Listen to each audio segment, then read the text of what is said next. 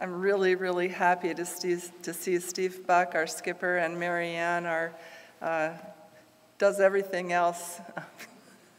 Deckhand first mate right now, although Ren is our first mate officially now.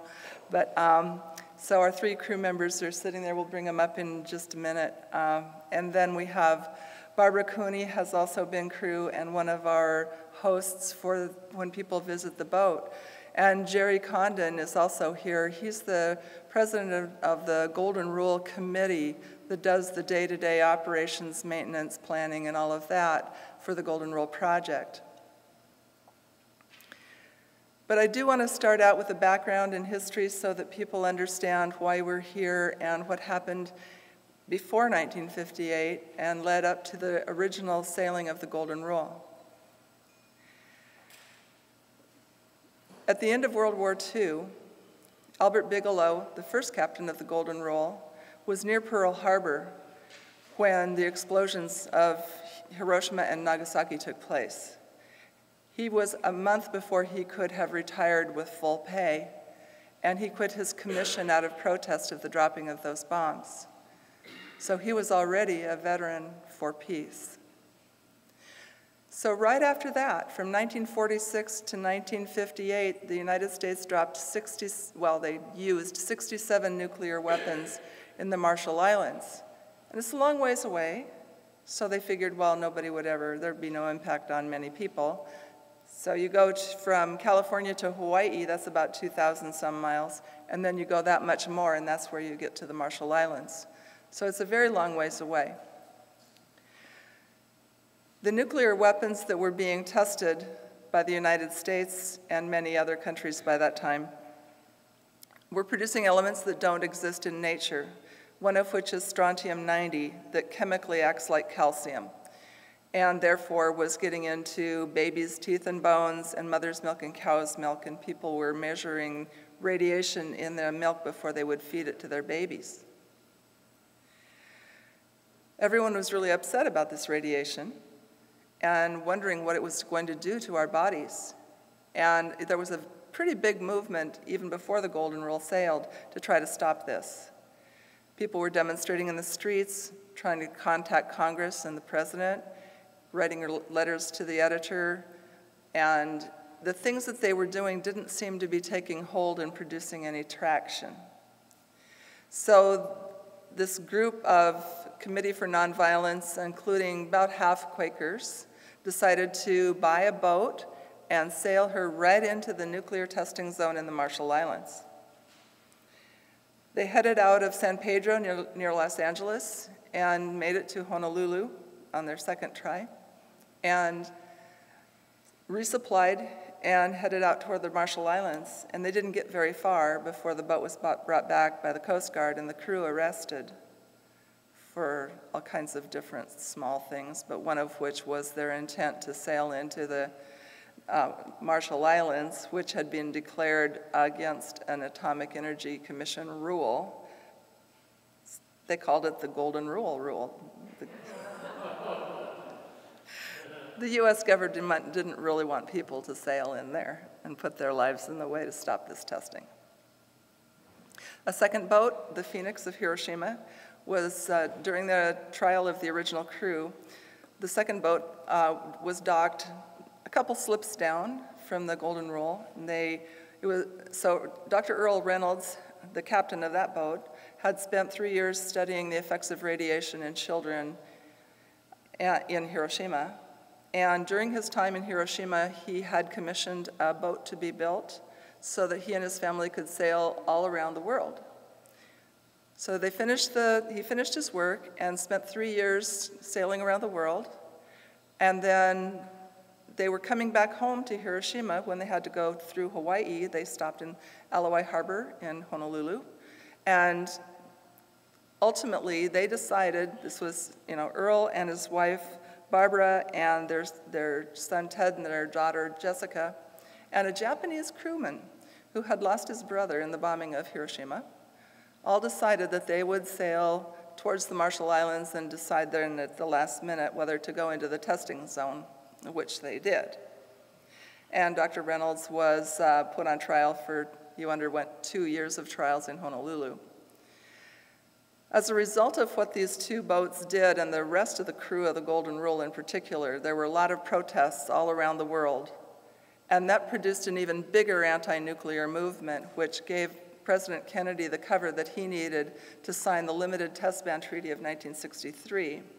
And the tactic for using a boat to go up and get in the way of nuclear testing is what inspired Greenpeace to do the same in 1971. We interact with Greenpeace every now and then. They just installed a new executive director, and they still, of course, acknowledge the origin of their, uh, their project. The Golden Rule was sold into private hands, was a pleasure boat for many, many years, and turned up in Northern California, Humboldt Bay, which is where Steve is from. And it was a pretty much of a wreck at the time that she was banged against a dock in a gale and developed two big holes in her side and sank. The boatyard owner wanted to use her for a bonfire, but he consulted his friend, uh, Chuck DeWitt, who lives a mile away, and said, Hey, come on over here. Let's use this boat for a bonfire. And Chuck came over. He said, What the hell is the golden rule? And Leroy pointed to her sorry shape, and there she is. Well, ultimately, a discussion ensued, and Chuck, being a Vietnam veteran, member of Veterans for Peace, brought in a bunch of his friends. And Veterans for Peace and Quakers and a lot of other volunteers decided they wanted to restore the Golden Rule, not just physically, but to her anti nuclear mission. So it took five years, and in February of 2020, I'm sorry, February of 2015, so 2010 she sank, 2015 she got finished.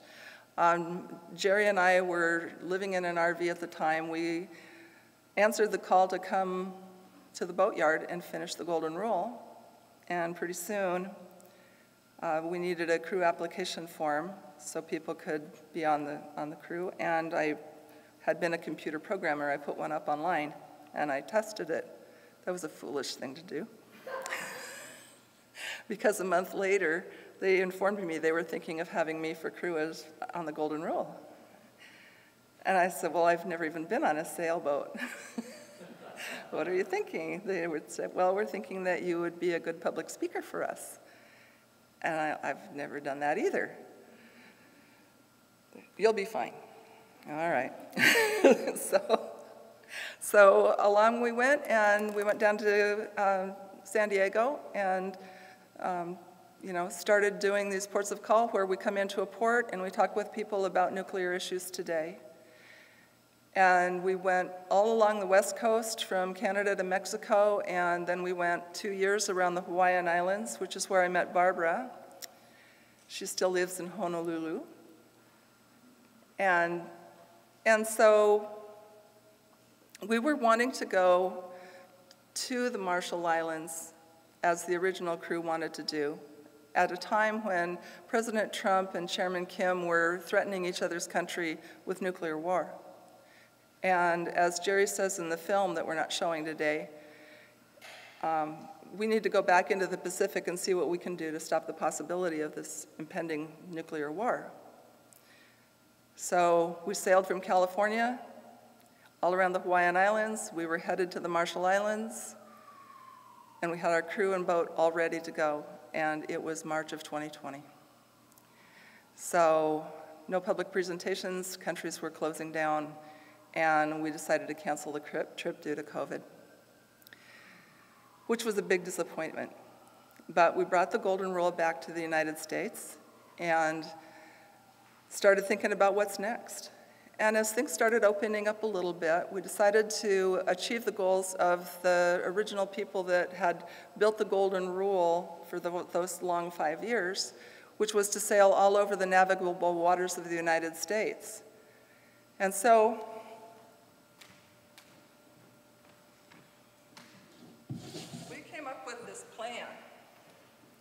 to sail around the whole eastern half of the United States.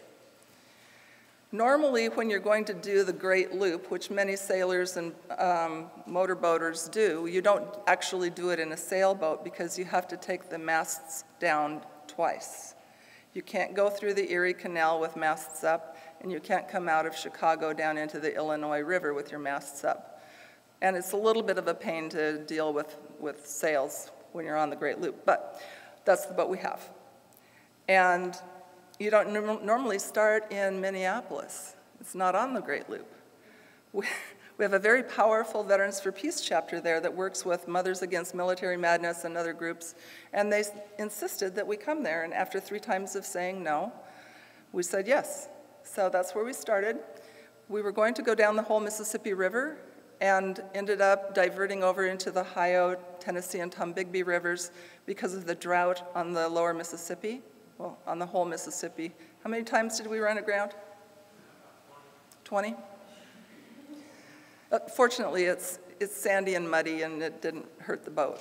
We took her out of the water when we got to Florida to take a look and it was, it was fine. Uh, so then we went around um, the tip of Florida. We spent 10 days in Cuba and then started heading up north and now we're on our way to north of Portland, Maine. And then we'll come back and do the um, Hudson River, Erie Canal, Oswego Canal, and all around the Great Lakes before we come back out in Chicago. Um, so that's where we are now. And you were talking about hope, and that's what the Golden Rule does, is it gives people hope through action. We talk about the new United Nations Treaty on the Prohibition of Nuclear Weapons. So internationally, there's now hope that we can eliminate them if we take that and use it as a tool. We talk about the back from the brink measures, such as taking the weapons off of hair trigger alert and eliminating the $2 trillion program to create a whole new set of nuclear weapons and missiles and command and control systems. That $2 trillion could be used in a lot of different ways. So that's the back from the brink measures. And then sometimes when I'm working with um, younger people, we'll get out paper and crayons and things, and we'll, we'll enable, empower them in the same way that the Hiroshima children were empowered, that you'll see this exhibit later. And I'll tell them about that. I said, you know, these, these children went through something horrible. And later, they drew what they had seen or what they were thinking about, and I find that those drawings are very powerful. I got to see the exhibit in Seattle once. And so I say, you know, just because you're young doesn't mean you don't have a voice. So, you know, get out those crayons and think about what you think about peace or the Golden Rule or nuclear disarmament, something. Just kind of put your thoughts out there in, a, in an artistic way. And then finally, there's the nuclear posture review. So every administration of recent past comes up with how nuclear weapons fit in with the entire US security structure. And they have been saying, well, nuclear weapons are the core of this structure. They're also the highest profit item. That might have something to do with it. It's very aggressive. Um, tries to implement full spectrum dominance of the planet. And what our nuclear posture review did was to take a look at the relationship between the United States and the other nuclear armed countries plus Iran and thought about how do we bring down the tensions, how do we, what could we give our diplomatic corps to negotiate for an end to nuclear weapons. And there's a lot of great information in there. There's a few copies on the back table there. And what we did, this was through the Veterans for Peace Nuclear Abolition Working Group. And so then um, a few days ago, we ran all over the halls of Congress. Every uh, representative and senator now has a copy with an encouragement to support HRES 77, the bill which is, is called the Back from the Brink bill, but it, it calls on Congress to support the Treaty on the Prohibition of Nuclear Weapons and the other measures to make us safer before nuclear weapons get completely eliminated. One other thing I would like to talk about, and I, I don't want to steal anybody's thunder, but I would like to acknowledge that who was bombed in Hiroshima and Nagasaki? Brown people. Who was the victim of our testing in the Marshall Islands? Brown people. Who are the victims of uranium mining and, and testing in Nevada?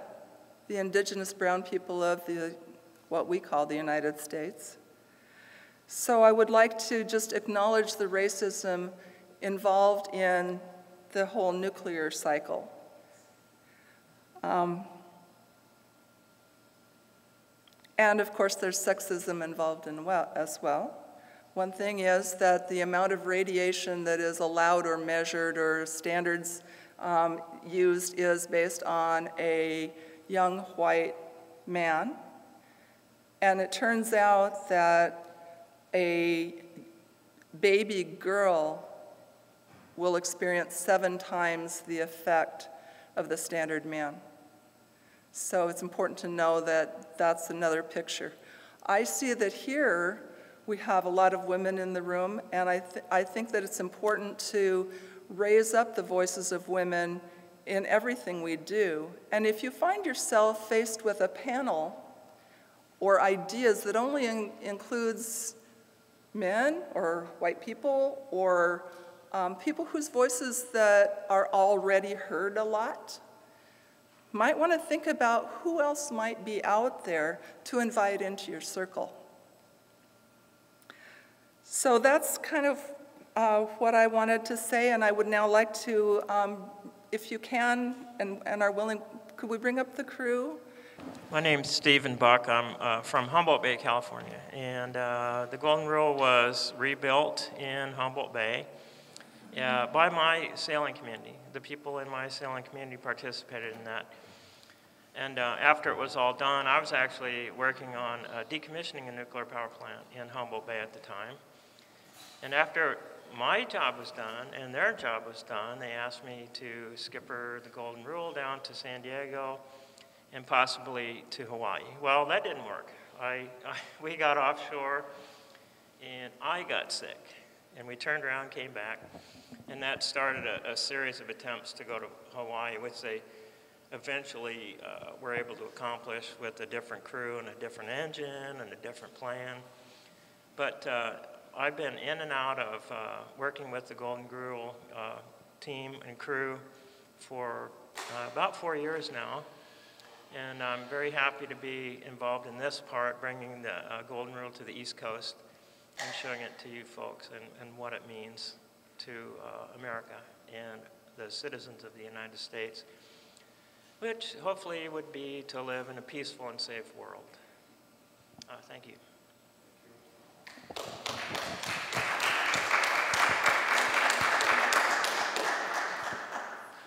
Hello, my name is Ren Jacob. Yeah, I'm from Oregon, and let's see, I got involved in Veterans for Peace around about the time that I heard about the Golden Rule, and that was probably 2010 when they started to rebuild it. Um, let's see, I didn't didn't have much money to give, but did donate a little bit. But uh, I was in the Air Force too from uh, 1984 till 1990, and I remember from my time in the Air Force that uh, I was pretty certain that the first Gulf War was not necessary. And, you know, long, long stories that I could tell you about that. And, uh, but uh, let's see, I, I think I kind of encouraged the Golden Rule Committee and, and Helen here to bring the Golden Rule up to Oregon, bring it up to the Pacific Northwest, which is where I'm from. And uh, so they did that in 2016.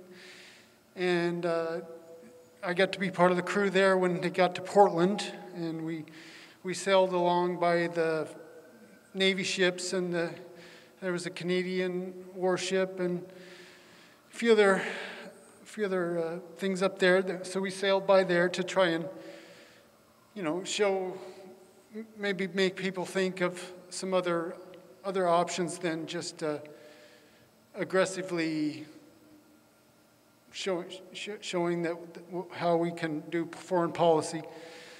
So that was, that's my connection to it, and uh, just, just thrilled to be on my fourth, fourth chance to crew with the boat now, and, and looking forward to another month or more to be associated with it. So thank you.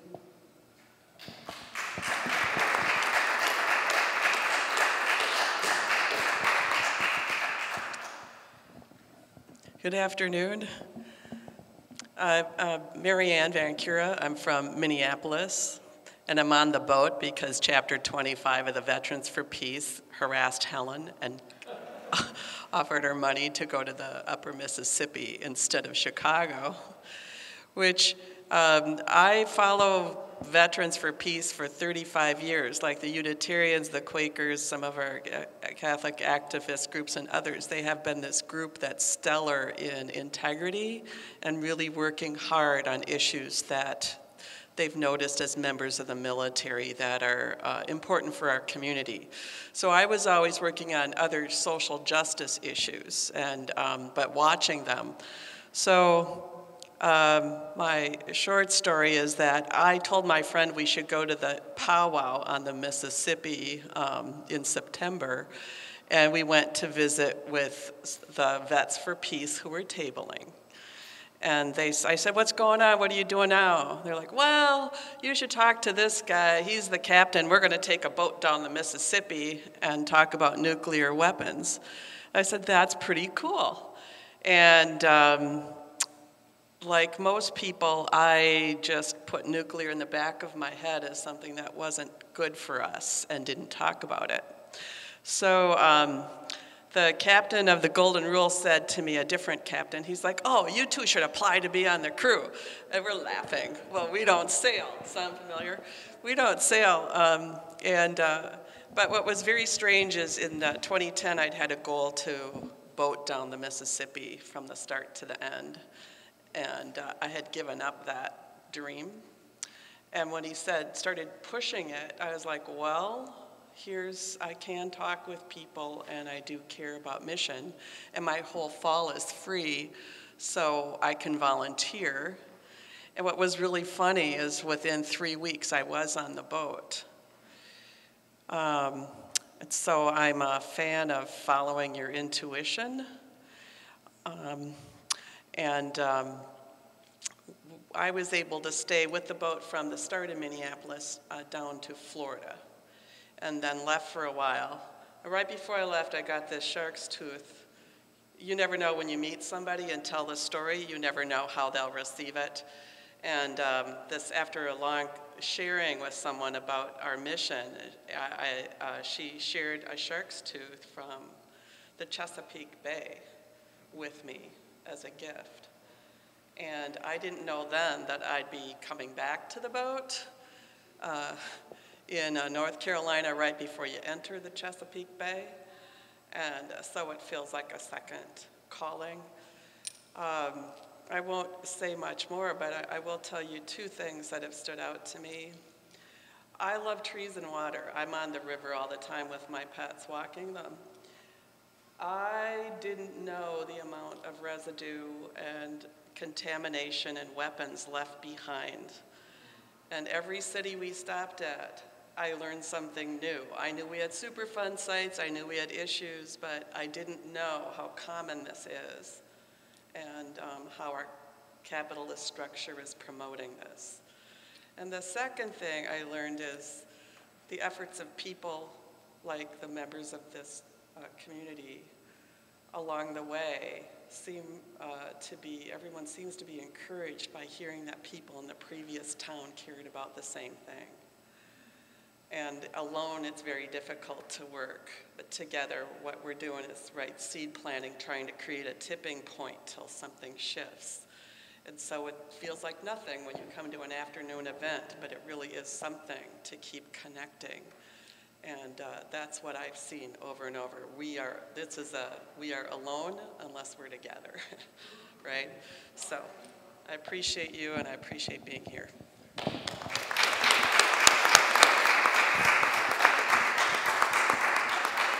Thank you. I'm Jerry Condon. I'm a Vietnam era veteran who actually refused orders to Vietnam and uh, been involved with the um, peace movement ever since. Um, I'm active in Veterans for Peace. I'm on the board of directors of Veterans for Peace.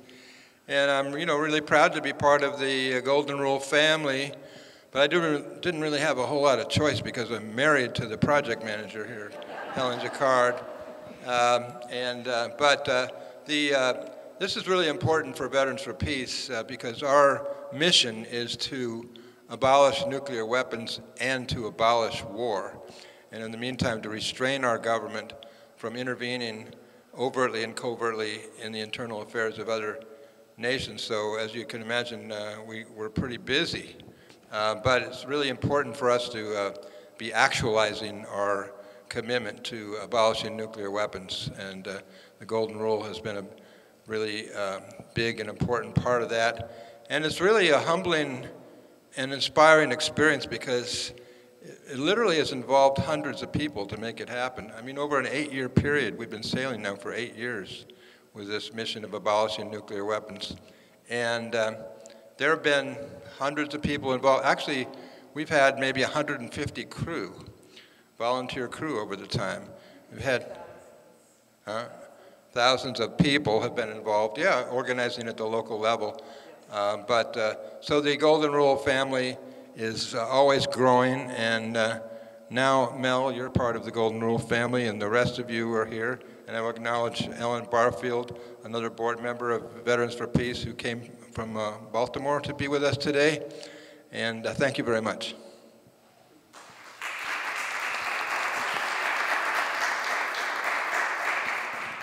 Good afternoon. I'm Barbara. Um, I'm not a veteran, but I grew up in Baltimore, and I remember my high school days coming down to DC to protest the Vietnam War, and there were quite a few returning veterans involved in those protests.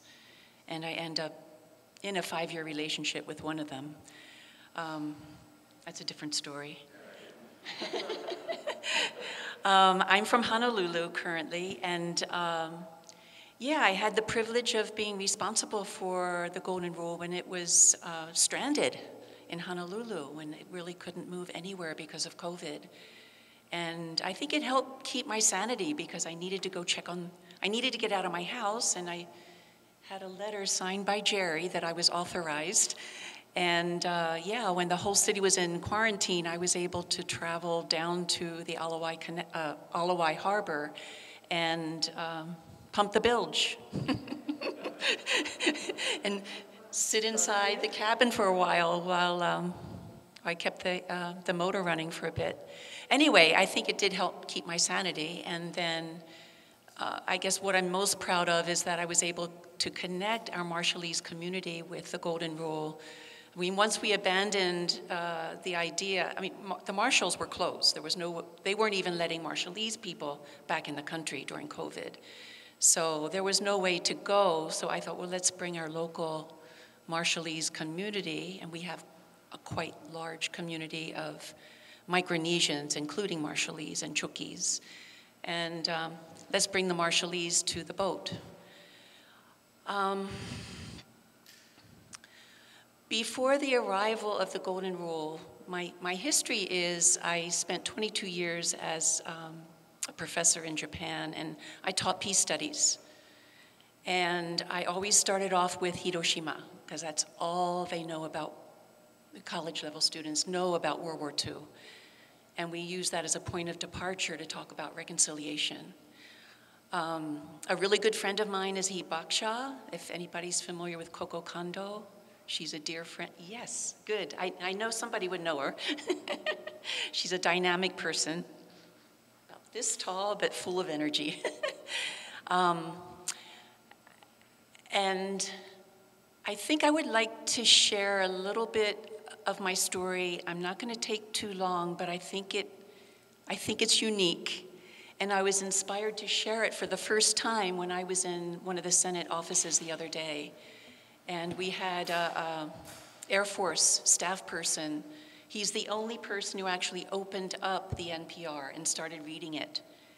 And we had a nice interesting, engaging discussion, and I just felt moved to share my story. So um, please tell me if anybody else has had a similar experience. I think it may be unique in that I was told that there was an incoming ballistic missile about to hit my city, and I had 20 minutes to shelter in place. And I had to shelter in place and be prepared to be enclosed in an airless space for 14 days, is what we were told it was going to take for the radiation to dissipate enough to be able to breathe the air. So this happened before the Golden Rule came. But we had. Well, it was when Trump and Kim Jong il were butting heads, and Kim Jong il was threatening either Guam or Hawaii. But, you know, of, of course, you all know it was a false alarm. And I think we in Hawaii are even a little bit embarrassed to share our stories. Like, did we really believe it or not? But we had two months of preparation where our legislature was telling us, you know, shelter in place, be there, you know, stock up for 14 days. I mean, you know, whoever even thought, I mean, I don't know where they get this information that that's what's necessary and that's what's safe. But we were told that if we're caught outside somewhere and don't have time to shelter in place, we should lay down next to the curb of the street because that would be a little more protection than just standing when the bomb hits. So my personal experience, I was, you know, I was in bed and I got the cell, you know, on my cell phone, incoming ballistic missile. This is not a drill. So what do you think? What do you think? We had two months of preparation, what to do when this happens. So I have two cats. I thought, okay, I need kitty litter, I need cat food. I've got an airless room down in my basement. Okay, okay. Um, another thing that started to happen in Honolulu with this threat is we started with the air raid, air raid sirens. Now we have a monthly siren that's a tsunami warning, and it's a very different sound. And they started to include the old air raid sounds. Those of my generation will remember in schools with that sound. We, we started doing that again the month of December and then January 1st. And then this happened. And after about 20 minutes of me you know, trying to prepare what I was going to take down to this room, I thought, well, why aren't the sirens going off? And why is my neighborhood deathly quiet? And then I thought to myself, well, I don't really want to spend two weeks in an airless room. I don't want to put my cats through that either. My kids were in Asia. I didn't have to worry about anybody but myself. So I just decided, come what may. I wasn't going anywhere. And so I waited for the impact. And during that time, I was really angry at my younger sister because she had voted for Trump. and during that time, when I thought death was imminent, you know, I, I decided to forgive my sister. And I thought, okay, now I'm ready. And then, you know, afterwards when we found out that it was a false alarm and, you know, everybody's kind of denying that we really, you know, fell through it, fell for it. And, you know, I thought to myself, well, wasn't I so magnanimous? I, I had forgiven my sister, but then I never did forgive Trump. so I still have a long way to go. anyway, that's my story. And um, yeah, that gave me some uh, personal experience with the anti-nuclear movement to actually think that I was going to be affected thusly. So anyhow, I love the Golden Rule. I believe it's a magical boat. I think everybody that gets involved is totally incredible, and I feel this is quite a privilege. Thank you for including me.